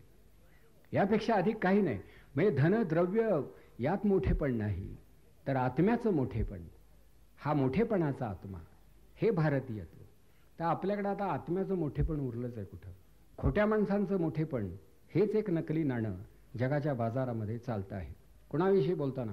त्यांच्या पाच मोटारी आहेत. दहा बंगले आहेत. काय त्याचा उपयोग आहे का काय त्यात काय आहे मला सांगा? त्यात कुणी संशोधक होणार आहे का? विद्वान होणार आहे का? तत्त्वज्ञ होणार आहे का? लेखक होणार आहे का? काही नाही. त्यांच्याकडे लेखकाला अतिशय मान आहे. प्राथमिक शिक्षकाला मान आहे. म्हणजे त्यांच्याकडच्या. आणि अगदी ते शिक्षक आले तर उठून उभे राहतात. माणसं चंद्रापर्यंत जातात ती अशी सहज जात नाहीत अपघातानं जात नाहीत तपस्येनंच जातात. हजारो त्रुटी त्यांच्या जीवनात असल्या तरी ज्ञानाविषयी शिक्षणाविषयी त्यांना असणारी कळकळ हे कौतुकास्पद आहे. म्हणून त्यांची भाषा समृद्ध झाली. आपल्याकडे काय वरपांगी लिहिणं ही गाईड्स प्रसिद्ध होतात. स्वतः लेखक वाचत नाहीत विचार फारसा करत नाहीत आयुष्यातला वेळ देत नाहीत. अभ्यासक्रम विद्यापीठानं ठरवला की लगेच पाठ्यपुस्तक तयार. म्हणजे आपली पाठ्यपुस्तकं ताबडतोब पहिल्यांदा अभ्यासक्रम जन्माला येतो. दोन महिन्याच्या आत हे बाळ अवतीर्ण होतं. आ दोन महिन्यात घाई गर्दीत केलेल्या लेखनामध्ये कितीतरी चुका राहतात. आणि ते मुलं घोकतात तेही पुरतं वाचत नाहीत. त्याचंही पुन्हा थोडं थोडंच वाचतात. दरम्यान पुन्हा ऐन क्षणीचे अकरा प्रश्न तेवढेच वाचतात. आणि परीक्षेत बारा वाजतात कळलं का? तर हे ही काय अभ्यासाची रीत नाही. म्हणून ज्ञानाच्या क्षेत्रात हा खोटेपणा आपण चालवून घेतो. मग त्याचा परिणाम भोगावा लागेल असं मला वाटतं. भारत त्याच्यातून सुटणार नाही. कुणीही त्याला इतिहाससुद्धा क्षमा करणार नाही. तुमच्याकडे शास्त्रज्ञ नाहीत संशोधक नाहीत साहित्यिक नाहीत अभ्यासक नाहीत त्यांना प्रतिष्ठा नाही त्यांना कुणी किंमत देत नाही. तुमच्याकडे फक्त राजकारणी लोक आहेत. तुमच्याकडे चांगला शेतकरीसुद्धा नाही. ॲग्रिकल्चर हे त्यांच्याकडून इकडे आलं आहे शेती आपली खूप जुनी आहे हो. पाचशे एकर एका तळावर आहे. पण हे शास्त्र कृषी विद्या आणि परभणी विद्यापीठ हे कुठून आलं ज्ञान मला सांगा? त्या लोकाने अभ्यास केला आणि तो आपल्याकडे पाठवला. आणि म्हणून त्याला वाघिणीचं दूध असं का म्हटलं? तर संशोधन चिंतन करणं हा त्यांचा स्वभाव होता. आपल्याकडे काय नाही नुसतं मिरवणं. बरं काय शास्त्रज्ञाचं उत्पन्न फार होतं असं काही नाही. आईन्स्टीननं जर खरोखरच मृत्यूपत्र केलं असेल काय देण्यासारखं त्याच्याजवळ होतं? त्याचा सापेक्षतावाद हे अखिल मानवजातीसाठी त्यानं लिहिलेल्या इच्छापत्रातलं एकमेव कलम होतं. जगाला मला ज्ञान द्यायचं होतं तेवढंच माझ्याकडं होतं ते मी देतो आहे म्हणजे सगळे आम्ही जेवढे म्हणून शास्त्रज्ञ अभ्यासतो ते बहुतेक त्यांच्याकडचे आहेत. आपल्याकडे जगदीशचंद्र बोस आहेत प्रफुल्लचंद्र रे आहेत. नाही असं नाही. डॉक्टर बाबा आहेत. आपल्याकडे थोडी माणसं आहेत. तीसुद्धा त्यांच्याकडून स्फूर्ती घेऊन अध्ययन प्रवृत्त झाली आहे म्हणून ज्ञानाच्या आणि अध्ययनाच्या बळावरती स्वतःला समाजाला आणि राष्ट्राला प्रतिष्ठा मिळवून देणाऱ्या माणसांच्या संख्येवरती त्या देशाचा भाग्योदय अवलंबून असतो. आता आपल्या देशाचा भाग्योदय अशा लोकांच्यावरती अवलंबून असेल तर अशी माणसं किती? हा प्रश्न आहे. पण ते निर्माण होऊ शकणार नाहीत का? होतील असा माझा विश्वास आहे. अजूनसुद्धा ही वाढती पिढी उमलत्या बुद्धीची ही मुलं आणि या मुली यांच्यावर माझा विश्वास आहे. आम्ही कुठेतरी अपुरे पडतो. आम्ही त्याला वेळ तरी देत नाही समजावून तरी देत नाही आणि काहीतरी राहून जातं. म्हणून आपण जर भारतीय संस्कृतीचं सत्व आपल्या जीवनामध्ये ठेवून पाश्चिमात्यांचं काही बाबतीत अनुकरण केलं तर बरं होईल. आणि विवेकानंदांचा आग्रह हाच होता की पूर्वेचा आणि पश्चिमेचा संगम झाला पाहिजे. दोन्हीला जोडणारा सेतू निर्माण झाला पाहिजे. आपला वेदांत तिकडे गेला पाहिजे. तिकडचं विज्ञान इकडे आलं पाहिजे. तर यातून आदर्श मानव घडणार आहे. म्हणून शेवटी आदर्श व्यक्तिमत्वाची घडण हा मूलभूत प्रश्न आहे. जीवनाचा आदर्श कोणता? व्यक्तिमत्वाचा आदर्श कोणता? आणि हा आदर्श शेवटी कसा प्राप्त करून घ्यायचा? मी या आदर्शाच्या प्राप्तीसाठी निर्मितीसाठी कुठल्या प्रकारची साधना करायची हे जाणून घेण्यासाठी शेवटी ही चरित्र वाचायची ही भाषणं करायची आणि हेच विचार पुन्हा तपासून घ्यायचे असा हा प्रयोग आहे. म्हणजे मी स्वतः प्रयोगशील असल्यामुळं त्या त्या गोष्टींचं मला आकर्षण वाटायचं अजूनही वाटतं. विवेकानंद हे व्यापक बुद्धीचे होते म्हणून त्यांनी सांगितलं. पण दुसऱ्याचं चांगलं घ्यावं याकडं त्यांचा कल होता. आणि म्हणून एकदा त्यांनी आदर्श पुरुषाचं मानवाचं वर्णन केलं आहे तेव्हा ते म्हणाले होते की उद्याचा मला जो एक एक चांगला युवक दिसतो आहे आणि नेटका माणूस दिसतोय तो कसा असेल? त्यावर ते म्हणाले की ज्याच्या बुद्धीमध्ये वेदवेत्या विचारवंताच्या बुद्धीची अगदी धग असेल म्हणजे ज्याच्या बुद्धीमध्ये विचाराची धग असेल आणि ज्याच्या मनगटामध्ये इस्लामच्या उपासकाची रग असेल तो आदर्श माणूस. की शरीरही बळकट पाहिजे आणि बुद्धीही प्रखर पाहिजे. त्या इस्लामच्या मनगटातली रग ही हिंदूंच्या मनगटात आहे का? हा पहिला प्रश्न. आणि वेदवेत्यांच्या बुद्धीची धग ह्या इस्लामच्या उपासकांजवळ आहे का? हाही एक प्रश्न आहे. शेवटी दोघांनाही शहाणपण एकमेकांकडून घ्यावं लागणार आहे. पण हे स्वामीच बोलू शकतात. आपल्यापैकी कुणीही बोलणार नाही. आपल्यापैकी परंपरेनं जे चालत आलं आणि ज्याच्या बळावर आपण एकमेकाची वर्षानुवर्ष फसवणूक केली तेच आपण करीत राहू. म्हणून जे जे स्तुत्य ग्राह्य आणि उपयुक्त त्याचा अंगीकार पुरस्कार प्रचार आणि प्रसार करावा ही जाणीव त्या मोठ्या लोकांच्यात होती. आणि म्हणून आपण आता चिंतनशील झालं पाहिजे हाच खरं मार्ग आहे. म्हणून मग आंबेडकर असतील फुले असतील कर्मवीर भाऊराव पाटील असतील सर्वपल्ली राधाकृष्णन असतील ही माणसं आपल्या तपानं मोठी झाली. आणि सर्व भारतीय संस्कृतीचं सार सर्वपल्ली राधाकृष्णन म्हणाले होते. अगदी कानामात्रा नसलेल्या दोनच अक्षरात सांगता येईल ती दोन अक्षरं म्हणजे त आणि त्याच्या पुढे येणारा प त प. तपाशिवाय मोठेपण नाही आणि तपा वाचून मिळालेलं मोठेपण टिकत नाही. तपसिद्ध मोठेपण हेच खरं मोठेपण हे जर आजच्या सर्व क्षेत्रातल्या लोकांना कळलं तर किती बरं होईल. आपल्याला क्षणात श्रीमंत व्हावं वाटतं क्षणात मोठं व्हावं वाटतं क्षणात प्रसिद्ध व्हावं वाटतं. आणि सध्या राजकारणामुळं म्हणजे राजकारण वाईट असतं असं नाही ते गरजेचं आहे. पण असं शक्य होतो हो. मुलांना आमच्या हे जाणवतं. काय क्ष एक ग्रहस्थ ते एकदम फार मोठे झाले. शिक्षण बेताचं होतं. ती मुलं मला म्हणायला लागली सर तुम्ही एवढं जीव तोडून कशाला सांगत असता? ते बघा ना कुठच्या कुठं जाऊन पोहोचले. काय शिक्षण आहे का काय? पण झाले की नाही मोठे? म्हणजे शिक्षणावर मोठेपण अवलंबून नाही. हे यावरून सिद्ध झालं की नाही? अर्थात मला जरा उलगडा करावा लागला की बाबा रे शिक्षण म्हणजे पुस्तकी शिक्षण नाही. मी आता ते उदाहरणच देतो काय त्याच्यात लपवण्यासारखं काही नाही. वसंतदादा हे राज्यपाल झाले. आणि शेवटी राज्यपाल म्हटला की युनिव्हर्सिटीचाही तो प्रमुख असतो. म्हणजे त्याच्याच सहीनं हे सारं चालतं. तर चार दोन तथाकथित बुद्धिमान विद्यार्थी माझ्याकडे आले ते विशिष्ट वर्णातले होते.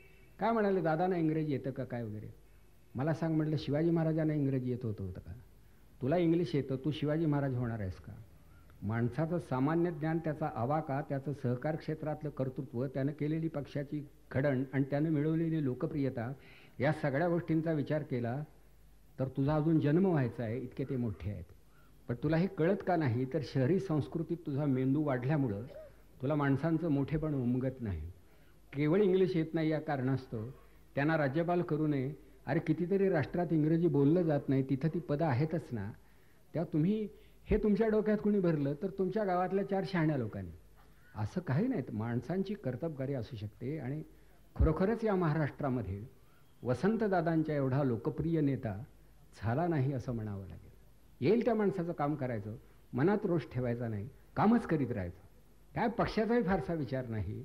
अजातशत्रुत्व आणि अमाप लोकप्रियता आणि असामान्य बुद्धिमत्ता याच्या बळावरती हा माणूस मोठा झाला. पण वसंतदादांनी कार्याला प्रारंभ कुठे केला आपणाला कळणार नाही. तर तो गाडगे महाराजांसारखा की शेवटी ज्या पद्माड्याला ते राहत होते सांगलीजवळचं लहानसं गाव आहे ते पावसाच्या दिवसात नदीला पूर यायचा आणि पाणी भरणाऱ्या स्त्रिया घसरून पडायच्या. हे बघितल्यानंतर दादानी एकदम काही तरुण मुलं गोळा केली आणि पायऱ्या तयार केल्या. दादांचं पहिलं पायाभूत काम हे होतं. आणि मग क्रमाक्रमानं पोरं रस्त्यावरून फिरतायत त्यांना काम नाही. मग सहकाराच्या वाटेनं नेलं पाहिजे. तुम्हाला एकदम नोकऱ्या मिळणार नाही मग आता आपण आपला कारखाना उभा करूया. हे सहकारी कारखाने ही एक फार मोठी शक्ती आहे. चालवत असताना माणसं चुकत असतील परंतु शेतकऱ्यांना संघटित करणं त्यांचं सामर्थ्य एका विशिष्ट दिशेला वळवणं आणि त्यांचं जीवन समृद्ध करणं हा चमत्कार या सहकाराने केला आहे. पण आता त्यातही पुन्हा अपहार करणारी माणसं जाईल तिथं बघा. जसं पांडुरंगाच्या मंदिरात नको ती माणसं असतात तसं सहकाराच्या मंदिरातही ते घडतं. पण म्हणून काय वारकऱ्यांनी वारी सोडली आहे का? किंवा तिथं बडवे भेटतील म्हणून आम्ही पंढरपूरला जात नाही असं वारकरी म्हणत नाही तसं काही लोकांनी अपहार केला आणि दुर्वर्तन केलं.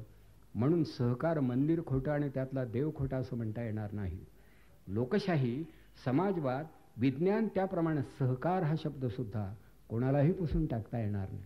आमचा काही ऊस नाही माझी शेती नाही मी काही डायरेक्टर होण्याची शक्यता नाही. पण मला दिसतंय नाही हे हेही बोलून दाखवायची वेळ आलेली आहे. किंवा विचार करूनच आपण आपल्या मतांचं प्रतिपादन केलं पाहिजे.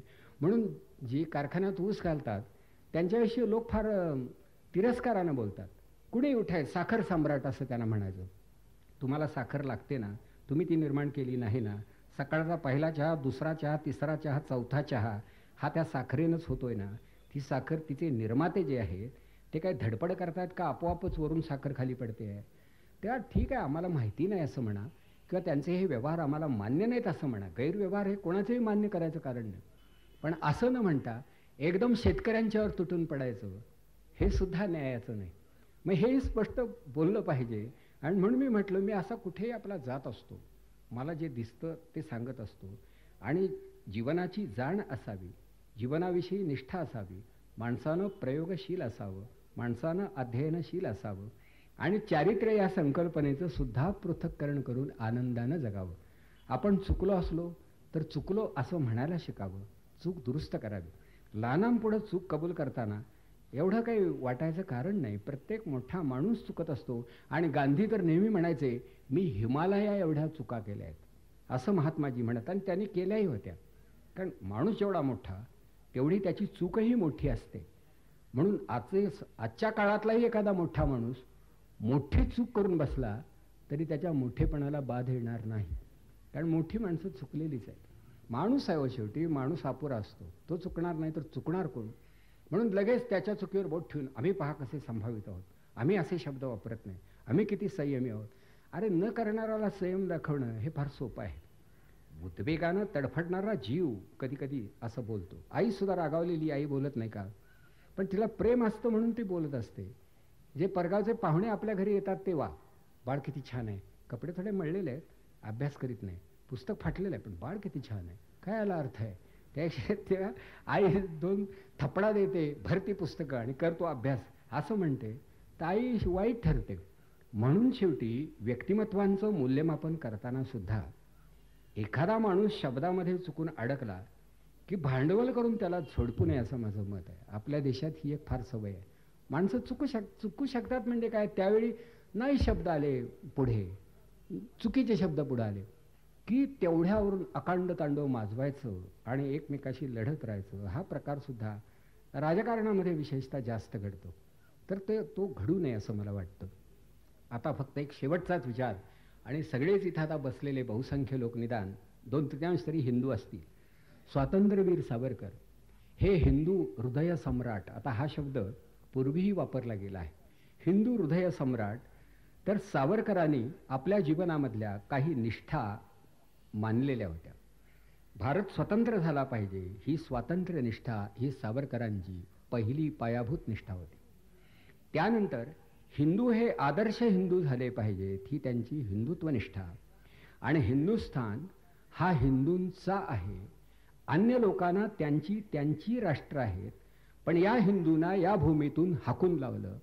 तर बाहेर त्यांना पाऊल ठेवायला जागा नाही तेव्हा हिंदुस्थान हा हिंदूंचाच आहे. पण हिंदू कोणाला म्हणायचं? तर जो वेदांचा अभ्यास करतो जो स्नानसंध्या करतो मुळीच नाही. तर या भारताला आपली मातृभूमी पितृभूमी पुण्यभूमी जो मानतो तो मुसलमान असला तरी माझ्या लेखी तो हिंदू आहे. आता ही हिंद हिंदुत्वाची व्यापक व्याख्या पण त्यात एक भाग आहे की त्या माणसाची दैवत मशीद असली तरी चालेल पण ती भारतातच असली पाहिजे त्याची पुण्यभूमी भारत ही असली पाहिजे. हे सावरकरांनी सांगितलं. म्हणजे त्यांच्यामध्ये क्षुद्र जातीयता नव्हती. या उलट आमचं हिंदुत्व हे सदोष आणि अविकसित झालं तर त्याच्यामध्ये कारणीभूत होणाऱ्या गोष्टी कुठल्या? तर त्यांनी हिंदुत्वाच्या पायातील सप्तशृंखला म्हणून एक लेख लिहिला. समुद्राच्या पलीकडं जायचं नाही आंतरजातीय विवाह करायचा नाही सहभोजन करायचा नाही वेदांचा अभ्यास करण्याची अनुमती स्त्रियांना आणि दलितांना द्यायची नाही आणि हा व्यवसाय यानंच केला पाहिजे अशी कृत्रिम बंधनं लादायची तेव्हा रोटीबंदी बेटीबंदी सिंधुबंदी शुद्धीबंदी अशा त्यांनी बऱ्याच बंदीचे प्रकार सांगितले. आणि या हिंदुत्वाच्या पायामधल्या शृंखला आहेत. सगळे हिंदू हे एक झाले पाहिजेत. हे आम्ही सारे हिंदू परस्परांचे बंधू. त्यामध्ये भोसले परांजपे कांबळे हा भागच येत नाही. आता ही जर सावरकरांची कल्पना असेल तर या माणसाच्या हिंदुत्वनिष्ठेला तोड नव्हती असंच म्हणावं लागेल. पण सावरकर हे सुद्धा गांधींप्रमाणे कोणालाही परवडले नाही. त्यानंतर सावरकरांचा एक विचार असा होता की माणसं ही बुद्धिप्रामाण्यवादी झाली पाहिजे की ज्या प्रश्नाचं उत्तर बुद्धीजवळ असेल त्या प्रश्नाचं उत्तर बुद्धीकडूनच घेतलं पाहिजे. आणि भारतानं विज्ञान निष्ठ झालं पाहिजे. वेदकाळात आणि पुराणात जे चमत्कार कल्पने पलीकडे वाटत होते ते विज्ञानानं शक्यच्या शक्यतेच्या कोटीत आणलेत तेव्हा विज्ञान हा हिंदूंचा पाचवा वेद झाला पाहिजे. विज्ञान हा तुमचे पहिले चार वेद हा पाचवा वेद झाला पाहिजे. आणि एकच वेद अभ्यासायचा असेल तर हा पाचवा वेद अभ्यासला पाहिजे. सावरकरांचं समग्र वाङ्मय वाचल्यानंतर कळतं सावरकर किती मोठे होते. मग आता हा पाचवा वेद कुठे आहे आपल्याकडे? पहिले चारही माहीत नाहीत आणि पाचवाही आला नाही. आता आम्ही काय म्हणतो तोच आमचा वेद कळलं का तर असे गल्लीबोळातले वेद हा देश तारू शकणार नाहीत. आणि पटतंय तुमच्या बुद्धीला तेच तुम्ही घ्या. म्हणून सावरकर हे अत्यंत प्रखर होते. हे गाय हे तेहतीस कोट देवांचं निवासस्थान सावरकर म्हणाले कृषीबलांच्या देशात गाय हा उपयुक्त पशु आहे. देवाशी कसलाही संबंध नाही. फार लोकांना वाईट वाटलं. अहो म्हणाले आम्ही नमस्कार करतो गायला. नाही म्हणाले नमस्कार करा लोटांगण घाला काहीही करा पण सांगतो तो उपयुक्त पशु पशु आहे. मग या संदर्भामध्ये पुढे एके ठिकाणी विवेचन घडलं आहे शिवाजी महाराजांना गोब्राह्मण प्रतिपालक म्हटलं जात असे. गोब्राह्मण प्रतिपालक म्हटलं जात असे. आणि खरं होतं. आणि पण ते का म्हटलं जात होतं? शेवटी काय होतं? एका बाजूला गाई गो. तर गोधन हे भारतामध्ये पायाभूत धन होतं. हा कृषीप्रधान देश होता. शेतीसाठी गाई गायीची आवश्यकता आहे. गाय नसेल तर बैल नाही जनावरं नाहीत का शेण नाही काही नाही. म्हणजे शेवटी एका बाजूला गोधन हे आमच्या संस्कृतीचं एक टोक झालं. आणि नवनवीन विद्या संपादन करण्यासाठी विरक्त जीवन जगणारे निष्कांचन दशेत ब्राह्मणांनी पैशाला स्पर्श करायचा नाही. वेद वेत्ता तू ब्राह्मणो हा संकेत पूर्वी होता. ब्राह्मण पैशाला स्पर्श करत नव्हते पण त्यांना लागेल ते सगळं राजे त्यांच्या पायाजवळ आणून ठेवत होते. आता त्या ब्राह्मण्याला ब्राह्मण वंचित झाले. म्हणून ब्राह्मण्य हा शब्द विद्येचा वाचक होता. तेव्हा एका बाजूला ज्ञान किंवा विद्या आणि दुसऱ्या बाजूला ही भूसमृद्धी कृषीविद्या. म्हणून शेवटी गो ब्राह्मण ही समाजाची दोन टोकं झाली. तर त्यांचा हा अधिपती त्यांचा हा प्रतिपालक म्हणून तो गो ब्राह्मण प्रतिपालक झाला. तर याच्यावरही पुन्हा वादावादी. महाराज म्हणजे शेवटी ब्राह्मण सांभाळण्याचं काम करत होते. हा विपर्यास आहे. हे शेवटी शब्द प्रतिकात्मक आहेत. आणि म्हणून सावरकरांचं सगळं साहित्य हे कधीतरी वाचलं पाहिजे वाचल्यावर आपणाला कळेल. आणि त्यातले असे रोमहर्षक प्रसंग आहेत की हा माणूसच वेगळा असला पाहिजे लक्षात येतं. जसं हातापायामध्ये बेड्या आणि अंगावरती गोंडपाटाचे सदरे असताना अगदी तोल दाण्याच्या बेतात असणारी पत्नी भेटायला आली आणि कदाचित ही उन्मळून खाली पडेल हे त्यांना कळल्यानंतर तिला सावरताना ते सांगत होते की हे बघ गोंडपाटाच्या सदऱ्यातून डास सावत नाहीत हा त्याचा फायदा आहे. आणि हातापायात ह्या ज्या बेड्या आहेत काय तुला यांचं महिमान सांगू म्हणून हातापायातल्या बेड्या त्याने वाजवल्या. नाद काढून दाखवला. सावरकरांनी अंदमानमध्ये बेड्यांची एक लिपी कडकट टकट तारेची जशी असते तशी सगळ्या कैद्यांशी संपर्क साधण्यासाठी पायामधल्या बेड्यातून एक लिपी तयार केली. म्हणजे हा माणूस कसा असेल? शेवटी आपल्या पत्नीला म्हणाला की हे बघ उद्या जगदंबेची आरती करशील. तेव्हा त्या आवाजामध्ये हा बेड्यांचा आवाज मिसळू दे यांना जगाचा इतिहास घडतो. अगं व्यक्तिगत संसार कोणीही करील पण राष्ट्राच्या संसाराला आपल्या व्यक्तिगत संसाराचा नैवेद्य दाखवणाऱ्या दाम्पत्याची इतिहासाला गरज आहे. तेव्हा हा संसार आपणाला करायचा आहे. असेल योग तर परत भेटू अन्यथा ही शेवटचीच भेट. हे धीराचं बोलणं करणारा माणूस.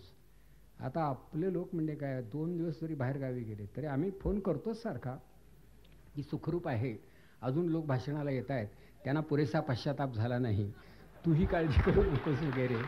तर ही तेव्हा ही ही माणसं तेव्हा ही मूस आपण अभ्यासली पाहिजे. आणि त्यातूनही मिळतो. पण आम्हाला लहानपणी सावरकर वाचूच दिला नाही. सावरकर म्हणजे काय म्हणाले ब्राह्मणी वृत्तीचा माणूस तुम्ही वाचूच नका. पण मी जरा चोरून वाचन करणारा होतो. कारण मला सांगणाऱ्यांनी वाचन केलं नव्हतं हे मला माहीत होतं. त्यामुळे त्यांचं ऐकणं मला परवडणारं नव्हतं. म्हणून मी एका वेळी सावरकरांच्या आणि गांधींच्या सभेला जात होतो. कधी जगात असं घडेल का? कारण पुण्यामध्ये दोघांच्याही सभा होत होत्या. गांधी शांत गतीनं सांगत असत की आपल्या ठाई असणारं ईश्वरत्व प्रकट व्हावं यासाठी अहिंसा सत्य असते या या तत्वांचं आपण पालन केलं पाहिजे. माणसानं कसं देव होण्याच्या तयारीनं वागलं पाहिजे त्याच्या पशुतेचा त्यानं म्हणजे शेवटी निराकरण केलं पाहिजे पाठ फिरवली पाहिजे. हे सगळं महात्माजी सांगतायत आणि महात्माजींचं व्यक्तिमत्वही प्रसन्न होतं. पण सावरकर बोलायला लागलं म्हणजे वीज कडाडते असं वाटायचं. की शेवटी ज्यांचं अस्तित्व आपल्या जीवनात धोका निर्माण करील त्यांचं पारिपत्य हे आपलं प्रथम कर्तव्य असेल. ते धारदार बोलणं असायचं आणि ते पटायचंही काय ते खोटं बिटं काय त्यातलं नव्हतं. म्हणून आता एकाच वेळी गांधींच्या सभेला जायचं आणि सावर गांधींच्या प्रार्थना सभेला आणि सावरकरांच्या सभेला माझी काय ओढाताण झाली असेल सांगा. बरं बोलायची सोय नाही. गांधींच्या सभेला जाऊन जर तिथल्या लोकांना सांगितलं की मी सावरकरांच्या सभेला गेलो होतो ते कपाळाला आठ्या पडायचे. सांगतच नव्हतो कारण त्यांना कळणार नाही मला माहीत होतं. आणि सावरकरवादी जे होते त्यांना गांधींचं नाव नको होतं. मग हीच माणसं इथं चुकलेली आहेत.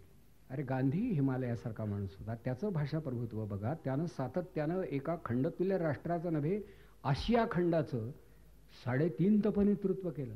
जगाच्या इतिहासामध्ये इतकं प्रदीर्घ नेतृत्व करणारा दुसरा महापुरुष होणार नाही. गांधी हाच झाला. पण त्याच वेळी अशी लखलखती तळपती वीज सावरकरांसारखी तीही होणार नाही. म्हणून आपण एखाद्या उद्यानामध्ये जावं आणि उत्तुंग वृक्षांचं अवलोकन करावं आणि प्रत्येकाकडे पाहून नुसतं कौतुकाचे उद्गार काढावे. या झाडासारखं ते झाड नाही पण हेही झाड मोठं तेही झाड मोठं. हा भारत देश म्हणजे गुणवत्तेचं एक प्रचंड उद्यान आहे. हे एक नंदनवन आहे. म्हणून शेवटी या नंदनवनामधले उत्तुंग वृक्ष आपण पाहत राहा. इथे फुलांचा वास आहे इथे फळांची रुची आहे इथे झाडांची सावली आहे इथे अपार ऐश्वर आहे इथे धर्म आहे संस्कृती आहे हिमालय आहे गंगा आहे इथे सर्व सर्व काही आहे. असं असताना इकडे तिकडे न पाहता इथे काय आहे याचाच अभ्यास करावा एवढं सांगून आपली रजा